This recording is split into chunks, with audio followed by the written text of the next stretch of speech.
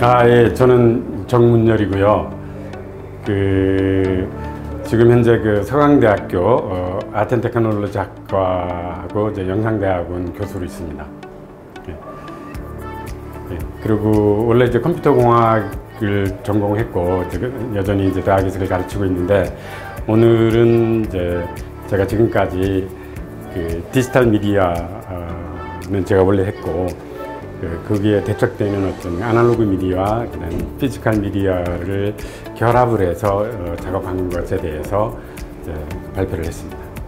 사람들이 원래 사실 디지털 미디어랑 살았던 건 아니죠. 그건 최근의 현상인데 그러니까 physical 또는 아날로그 medium과 오랫동안 이제 살아서 몸이 이제 거기에 익숙하고 이제 그런데 갑자기 이제 virtual이다, 뭐 디지털이다 이렇게 확 가버리면서 사람들이 적응을 잘 못하는 그런 게 있으니까 저는 이제 그 디지털로 가는 그 경향을 어쩔 수 없다 하더라도 그 두 가지를 잘 결합을 함으로써 사람이 보다 새로운 미디움에 더 잘 적용할 수 있는 어, 있지 않을까 그런 생각을 해서 그거를 강조했습니다.